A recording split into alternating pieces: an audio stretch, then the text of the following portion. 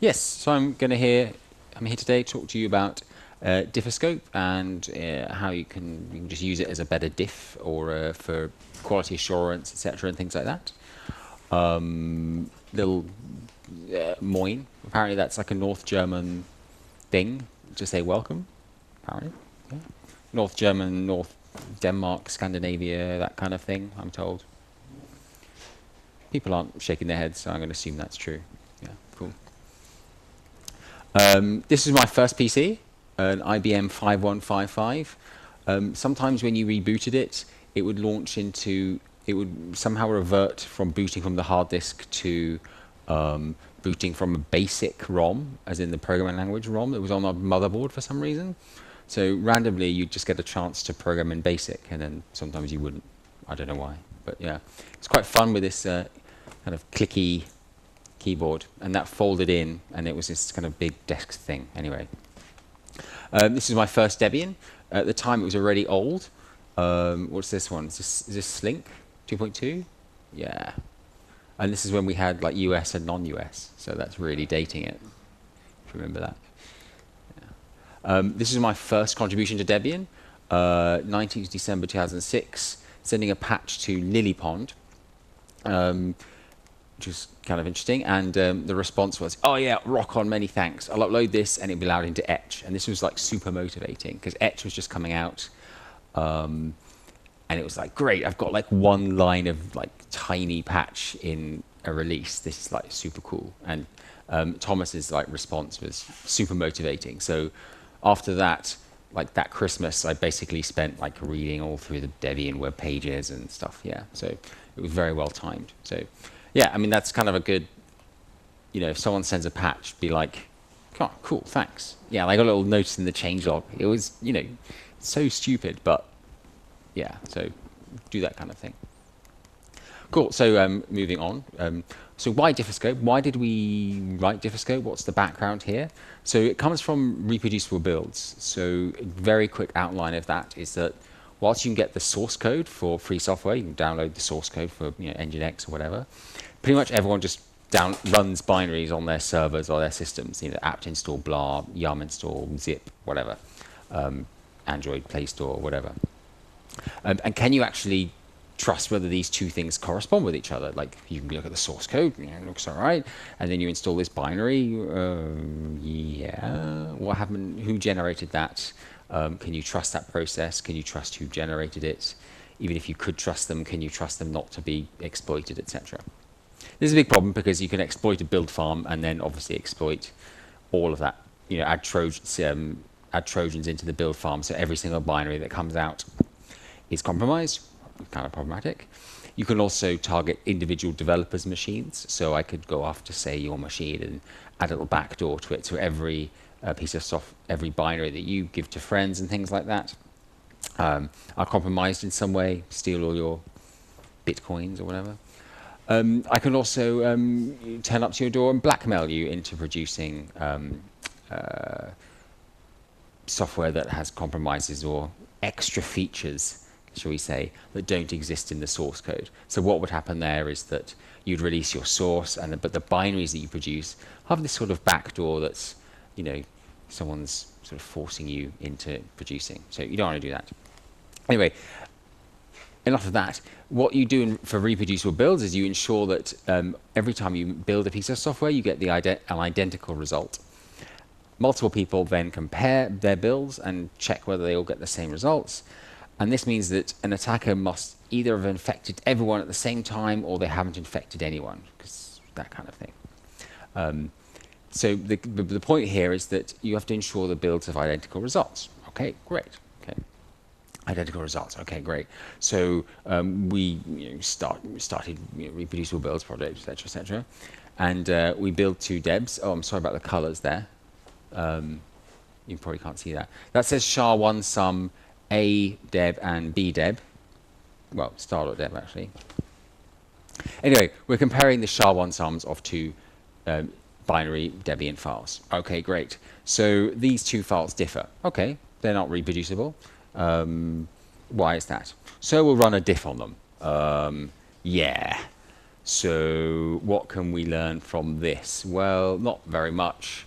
Um, presumably they're compressed, so as soon as we see one change, we'll see it will just cascade changes because that's how compression works. Um, and we, I guess we know it's a deb, and probably an AR format file with, you know, with a, yeah, yeah, not very useful. Okay, great. So we'll go one level in. We'll um, um, do a binary diff on it. Okay, well, uh, again, that's not really telling us very much with the um, with the diff there. Yeah. Okay, great.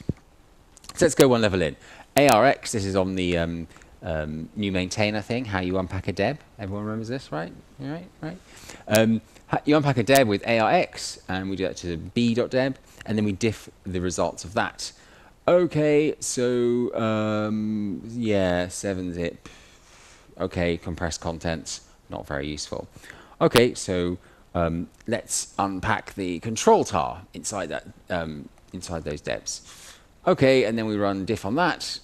Okay, yeah, still not really telling us anything useful about how to make this package reproducible. So let's unpack the tar.xz into the tar. Okay, inside that tar there's a file called md5 sums, um, and it, we're starting to see some difference in between um, some files in this in these two debs. It's not something meaningful. So now we have like some idea that it's something to do with this user bin pnmixer binary. Okay, interesting. Okay. Um, uh, we'll unzip that, and then we'll do a diff on pnmixer itself. Okay, well now we're back into just binary gobbledygook mode.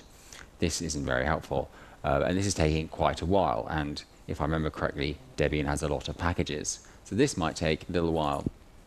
So basically, um, I don't know if you know this particular meme. Um, I should build a better diff, you know, etc. That's not quite true because actually um, it was Lunar that started this project, and it was originally called debbindiff because we wanted to diff binary Debian packages.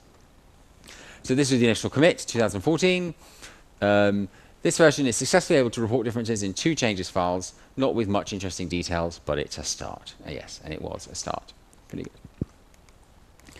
So um, fast forwarding. Oh, sorry about these colors. I don't know if we can do anything about the lights. Do that ruin yeah? Is that. No? Okay, whatever. Um, basically, we're um, diffoscoping on. Um, it works kind of like diff does normally. You give it two files, and it'll output a sort of unified diff. So, diffoscope A, diff um, B, and one file contains the word foo, one contains the word bar. Brilliant. Nothing actually that out of the ordinary. It's sort of colored by default, so that's why you can't see it, but whatever. Um, um, it, it, it, supports archive formats. So if you give it two tar files, um, so if we then tar up um, our A file and our B file into an A.tar and a B.tar, tar, and then run diffoscope on those tar files, we get this kind of like um, hierarchy here. So it's saying that, okay, there are differences between these files. In the file lists, um, they have different um, uh, timestamps because I made them at different times. And, um, and here are the contents. So we get foo there and bar there. So we can see the difference between them. Well, I can. I don't know if you can. You get the slides later. Um, if we gzip these tar files and then run diffoscope on those gzip things, it'll say, okay, what we've done is um, we have to unpack it first, and here's the metadata about the, um, the gzip process. And inside that are our a.tar and b.tar from the previous slides, and then the A file and the B file.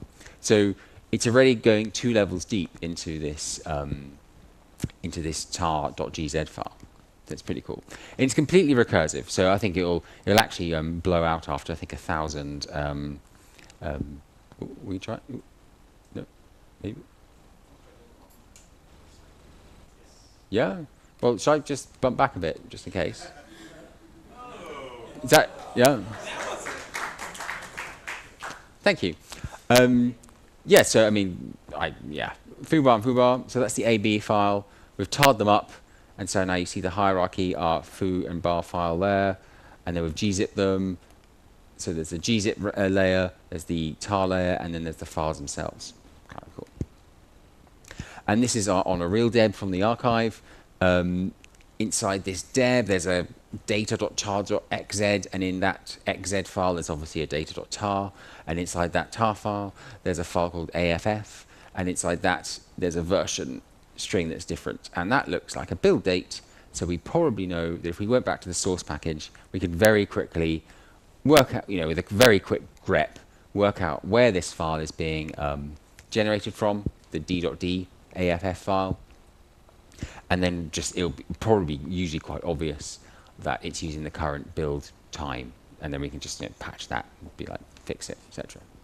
So great. So this has gone from a two rather obscure binary debs all the way to the fix, probably in about you know five five minutes, you know, and you could probably send a patch off in that time because it'll be quite quick.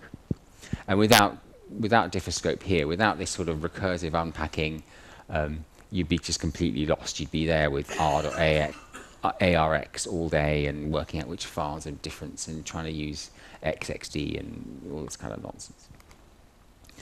Um, Diffoscope's uh, got some other things as well. So if you're trying to do reproducible packages and things are varying just on the line ordering, um, we detect whether um, a file differs only in the line ordering. So um, here's file A. These lines are in order. File B has these order are in lines. That's very difficult to say, actually. It's like those tongue twisters. Run diffoscope on those two, and it says it's got ordering differences only. That's interesting. So it probably needs a sort. You can go all the way back to the source code, work out very, very quickly. If you know, if you know it's just ordering differences, you just kind of know, and you know what the inputs are going to be. You kind of search for order and R, and you get the right files. Ah, just had a sort in the right place. Bam, send the patch off. Everything's great. Oh, and send it upstream as well, because you're good. Um, it supports a lot more things. So um, that we've been showing the terminal text output here.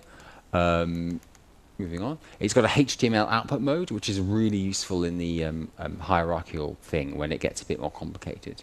So um, the diff, instead of being layered on top of each other like a unified diff, you get the, the diff on the left and the right, and you get sort of a nested um, thing inside with colors and, and lines, and you can link to various things, and it includes bits of metadata here and other bits here and what command it used. So that's the HTML output. We also support a lot of file formats. So it's not just on text. Um, it supports all of these. So to very quickly run through some of them. So you can give it to Android APK files, which are kind of like zips but magic um, and it'll it'll know how to um, compare them. So there's like a manifest file that needs decoding. It supports Berkeley DB databases, um, Word documents. So that's a Word document with A, and that's a Word document with B, and it'll correctly do that. If you ran that through diff normally, that would obviously be a binary mess, so completely useless. Um, um, ebooks, like uh, there's an EPUB, it also supports MOBI. So if you give it to um, EPUB files, it'll say, oh, they just differ in this state. Brilliant. Um, and normally that would be completely useless diff, binary diff again. So you can be like, ah, EPUB date one, okay, grep the source code for that, bam, make a patch very quickly. Uh, monobinaries, um, Git repositories, yeah, why not? Um, numeric spreadsheets, um, ISO images. Oh yeah, ISO images is really cool. So um, it'll basically unpack the ISO.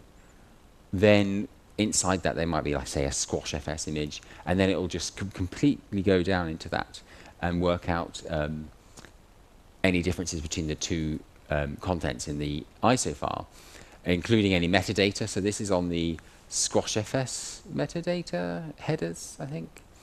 But say inside that ISO, there was a file that was a, a, a you know, there was a PDF, and inside that PDF was a, a, a ping file which varied. It would basically go all the way down and say, yeah, yeah, it's actually here in this ping that the data differs. And that means that you can just go, again, all go all the way back to the source and say, okay, cool, we now have to fix this quite quickly. And this is really valuable in getting the recent Tails distribution uh, reproducible. So their um, ISOs are reproducible. So you, if you build one and I build one, we get the exact same one. And that's kind of useful for something like Tails, where you would probably want to, of all, there are a lot of projects you might want to compromise, you, you might want to go after that one because the kind of people who are using it, you know, whatever. Um, we support comparing images. So this is using, um, um, I think it's using as SNG to text. So and then just running that through diff. Um, and that is a Linux Penguin, and that is something else. I can't remember now. Oh, FT or something. Anyway, it supports images. Um, it supports JSON, and it'll um, pretty print. So if you give it two uh, JSON files, one with key value after, uh, it'll do a nice diff of them. Um, it will first um, pretty print it first before doing the diff, so it'll actually give you something clean. Otherwise, I don't know if you've ever diffed two very long JSON lines. If they differ in the middle, you just get a huge long unified diff. But here it's like, oh, just those two things that have changed. Cool, brilliant. Um, open document text formats, um, OGG audio files, because why not? Um, dump capture files, that's actually quite useful. Uh, PDFs, so uh, that PDF says hello world, and this PDF says hello sick sad world. I don't know why that particular text in the demo, but yeah. Um, so yeah, again, run that through normal diff program, garbage. XML documents, um, again, it'll pretty print them, so it's nice, actually nice to read. So, I mean, if you want to get started on Diffoscope, the um, e very easiest and quickest way to do is fire up your web browser, try.diffoscope.org, select two files, press compare, it'll, and it'll upload them and run um, a, run Diffoscope in with all of the support for all of the file formats in the cloud for you and give you a nice HTML page that you can then link to people. So that's, that's the very quickest way to get started. The next quickest way is to install TryDiffoscope, and then you can just run that on two files, and it'll basically do the same thing. It'll run it in the same cloud service as TryDiffoscope, but either give you the um, result on the command line, or if you pass the web browser option, it will give you an URL or load your web browser, I can't remember exactly which, um, with the same result. So you don't have to install any, this is, you know, one kilobyte of Python. You know, it's got nothing basically. Um, so yeah, that's the, um, the next quickest way. Um, but you can then install Diffoscope itself on your own machine. Uh, I recommend not installing recommends because um, all of those file formats might drag in extra um, things. So that'll be all of TeX, um, I think all of OpenOffice, all of uh, Mono, all of Java, all of, yeah. so yeah, Android. Yeah, Android is quite big. Yeah, that's one. Um, bunch of interest. I think there's another big one. I can't think of. Yeah, so they're all optional, and it'll say, um, "Oh, by the way, I support um, TeX documents or whatever, mono, whatever, but um, uh, you need to install this package, and then you get like full, uh, pretty printed support." Um, and it'll tell you that when it's missing. So if you just start with install recommends uh, disabled, uh, run it on your file. If it says, please install this package, you can then install them as you go along, as you want, rather than, you know, installing everything. And then you just pass it two files, and it works as before. Cool. So um, how you can improve your own quality assurance and Debian packaging with Diffoscope? Um, the biggest, uh, biggest value here is not necessarily for reproducible builds. It's for basically just seeing where you do want to have a diff and you're expecting a diff and you're expecting a particular type of diff and in a particular way, you can basically see those changes. Um, and if you built two debs normally and then just ran, uh, you know, uh, well, I'll, go I'll try a demo in a second, but if you build a, um, a, deb with a patch applied and then build a deb with a patch applied, you can obviously run um, a diff on the source package uh, but that's not very useful because you know it's the binaries that are going to end up on people's machines. But if you ran a diff on the binary itself, you're like, did the did my changes actually hit the binary? I don't really know. So yeah, um, so I'll just I'll just run through a very um, live demo, of course. So it's going to fail. Um, so switch to a. Is that big enough for everyone? Yeah. Um, Let's find some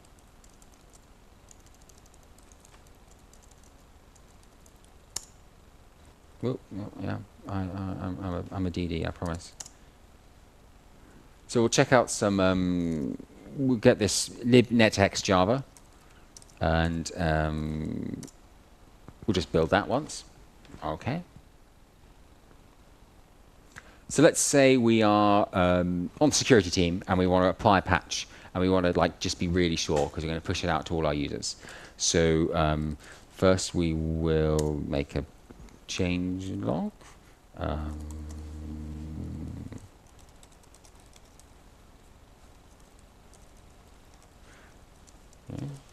Closing a bug. Whatever. Cool. And then we'll um, find some find some Java file to change. Let's pretend we have a real patch. Um, let's pretend that the security floor is right. Okay, let's replace that equals equals. Like, say that was the fix. I make it up. Probably isn't. Might break. But okay, say that's the patch from upstream. Upstream blessed patch. Yes. Yes. Yeah. Probably. Okay, so when we build this, what we want to see is just that change in the file. We don't want to see any other nonsense changes we've accidentally done. But we also definitely want to see that change, because if our binary, if our security release doesn't have that change, then we aren't actually fixing people's machines. We'll issue a DSA, everyone will install it and be like, oh, it's nice and secure, but actually you aren't. I mean, yeah, you should do proper testing as well, but hey, multiple levels, right? Cool. Um, so we'll build that again.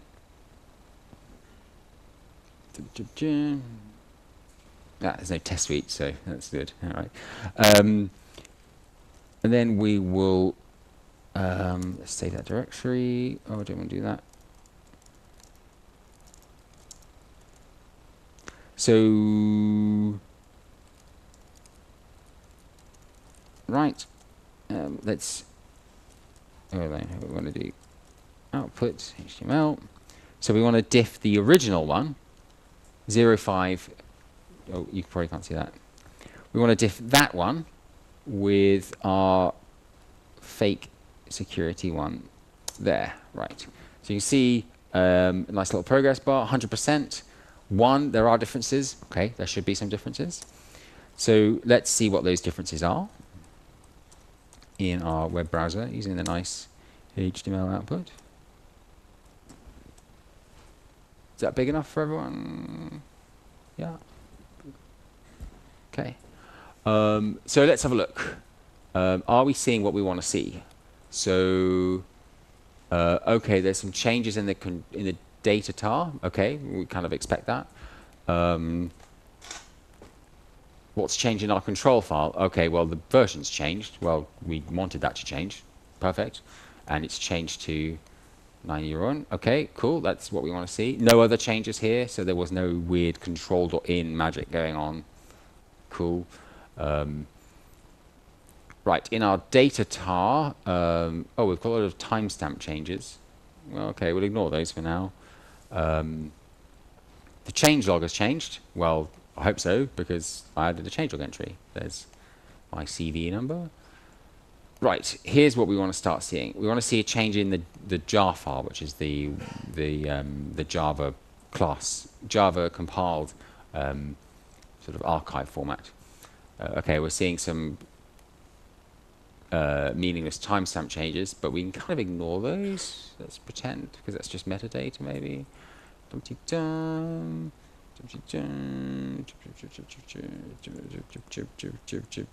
Okay, parser.class. Okay, so if you can see here, it's basically done a decompilation of the Java file itself and is basically saying that, oh, it used to say if null and if not null. So these are the actual byte Java bytecode instructions.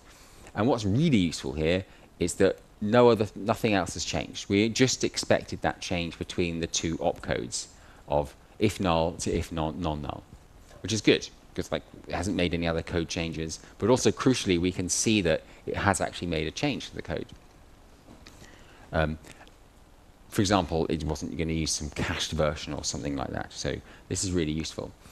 And just running a, a, a, naive diff wouldn't have given that, of course, because it would have just come up with binary garbage. And just seeing that the deb had changed, again, wouldn't have actually told you anything because all of the change logger would have changed as well. So it's like, well, yes, it's different, but the meaningful change there, the actual fixes the flaw, would have still been present. But we know it's there. Um, yeah. So that's that's kind of cool. You can be like, yeah. You, so shipping this deb out, I'd be quite confident that that, assuming that was the actual bug, assuming I'd be quite confident in pushing that out because it's very minimal amount of changes. You know, you want to do that with security releases, etc. So yeah, that's um, sort of live demo. Cool. Uh, the other one is seeing no changes at all. So if you um, you could build once, if you build is reproducible, um, you could build once, change your compiler or change some other part of your tool chain, um, build it again, and if you get the exact same results, uh, well, great. That's not that's what you intended. You want to see no changes when you change some part of it, um, assuming you want to you want to do that, and that's really useful. Um, if there were changes, Diffoscope would highlight them and show you exactly why they had changed. It might be some compiler optimizations, might be some other thing as well. Um, so you can use it in both ways, when you expect changes and when you don't expect changes, and if those don't match your expectation, Diffoscope will tell you exactly why. Um, it's also useful when other companies um, are doing security releases, so um, naming no names whatsoever, but they like to um, release patches as you know just a new firmware for your router in big you know fairly large sort of file system images you basically have no idea what's changed between these two files um, again if you ran them through a diff completely useless you could start to unpack them with um, SquashFS and blah blah blah but yeah they're probably sort of concatenated CPIO archives you know so there's nonsense but Diffoscope will just chew through those and give you actually what the difference is between these two files. And so you're like, okay, cool, they've, they've changed this. They've removed or added some GPL license code or something. That'd be quite interesting. Um, yeah, oh, yeah, for example. Um, yeah, so it's very useful for, for diffing those kind of um, binary blobs that come from um, various people. So yeah, the, what's the current state of the Diffoscope? So um, the development been up and down. Um, I did a, uh, yeah. So again, it started around, what was it, May 2014, something like that. Um, a bunch of work here. That's probably, that is Heidelberg, I think. No, no, no, 15.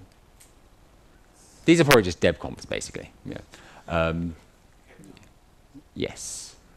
Although, who was hacking in Cape Town? Mm. Maybe these uh, dates are. Anyway, yeah. Turn up and down. It's kind of interesting. Um, it's used a lot in the reproducible builds project, of course. So every time we do a, um, a build on the tests.reproduciblebuilds.org um, testing framework, if we run diffoscope on the result, if, if it's reproducible, it just says, hey, the files are the same. Cool. Um, but if not, uh, we publish the diffoscopes of all your packages that are unreproducible. So you can just go on there and be like, what's the difference between these two things? Um,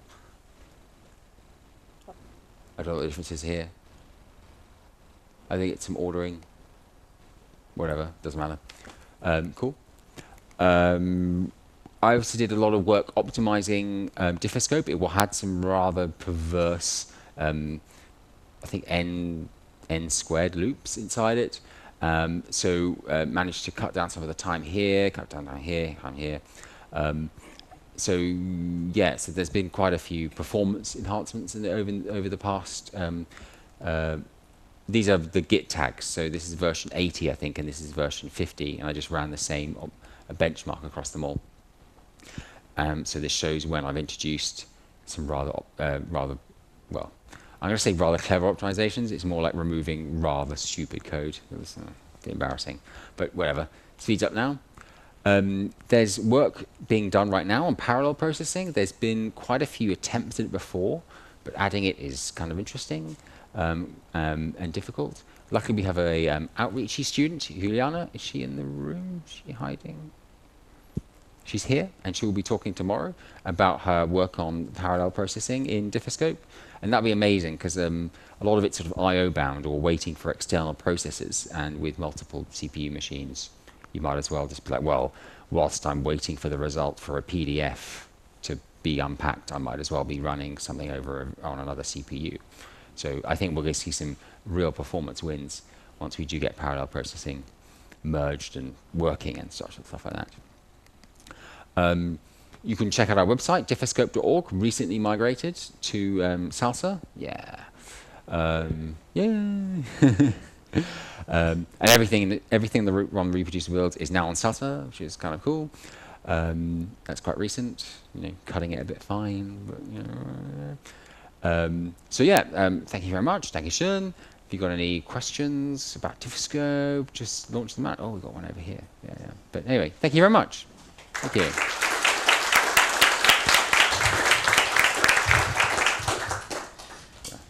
Yeah, buzzword question. Can it diff uh, container image formats? Uh, depends which ones. So if they are just um, directory directories, then yes, because it's just a directory. Do you have ones particularly in mind, like Docker? Or yeah, the obvious one yeah, is Docker, and then there's this OCI, I believe, is the standard one. Oh, and that could make it buzzword compliant. Oh, okay. Well, we're all about buzzwords, right? Yeah. I mean, it could probably diffoscope blockchains as well. And then run your diffoscope on Kubernetes and see the difference between updates of your container images. Bam, sold. Where do I invest? Um, so I wasn't aware that o OCI, o is that what it's called? OCI, OCI. Um, so no, it doesn't. Basically, doesn't support that right now. Um, but it wouldn't be too difficult. Presumably there are tools to unpack it, and as soon as we have a tool to unpack it, it can then just go in, into that. There is a open wishlist bug for Docker um, containers, and it to the point where uh, I think it would be really nice if you could just give it, say, two image names or whatever the noun is. So you can say, oh yeah, please diff these two Docker images that are available, and it could look at your local thing and do a diff on them. Um, but currently it's not supported, but there is an open wishlist bug. Yeah. Shouldn't any company that releases binaries be interested in supporting Diffoscope and using it?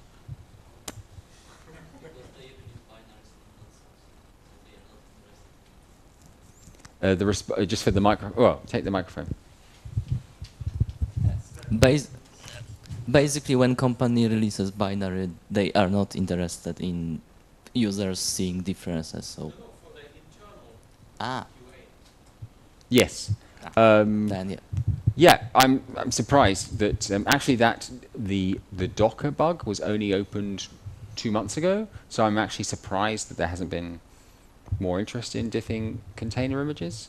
But if you would like to open one for OCI, that would be really appreciated, and um, we can get onto that. Um, that'd be great.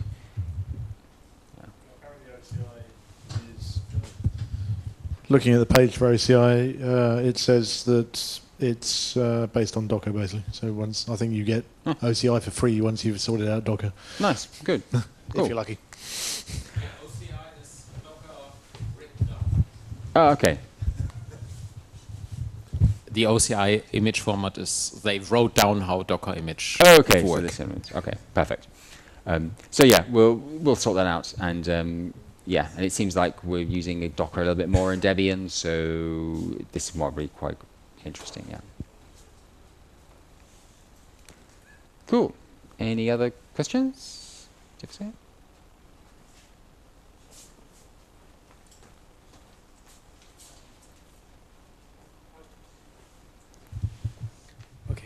Out of curiosity, um, which algorithm are you using inside? Uh, are you using some bioinformatics uh, algorithm to diff trees efficiently? Um, no, um, it's really naive. Okay. Um, it just just does a. It basically is um, all it does is um, run the normal diff, the normal diff tool, but it will um, do a, I, it will try and identify files and unpack them first, if you see what I mean. So it will use the um, file utility, if you know what I mean, the file uh, identifier thing that says oh, this is a PDF and goes, ah, okay, well, you're a PDF, so we'll try and unpack it first. Yeah, so it doesn't do any clever uh, matching. The only the clever matching it does do is there's some fuzzy matching as well. So if you just rename a directory between two inside a container, it'll say, yeah, there's a massive fuzzy match between these between these two files, things like that. Yeah, so that's that's kind of useful. But apart from that, it's not it's not that clever, which is kind of I think what you want because if it was too clever, it would start to be a little bit opaque. You'd start to be like, well, yeah. I mean, I personally like quite dumb tools. You know, yeah. See what I mean? Yeah. So, I mean, one question to you would be whether we should start. To, you know how um, if you want to do a um, a release to um, stable or something like that, um, you get asked for the um, the debdiff. So I'm wondering if anyone. I mean, I've also when doing that myself, I've been submitting uh, outputs as well because they're just slightly more readable and useful. So I'm not sure if anyone would have any objection to people asking for those. Yeah. Yeah. Instead of just running on the sort, yeah, we have a, at least one thumbs up. So yeah, I mean, I'll I'll propose that to the release team, see what they say. Yeah, yeah. Cool. Anyway, thank you very much. Any other questions? No further questions. Then let's thank Chris again. Well, thank you very much.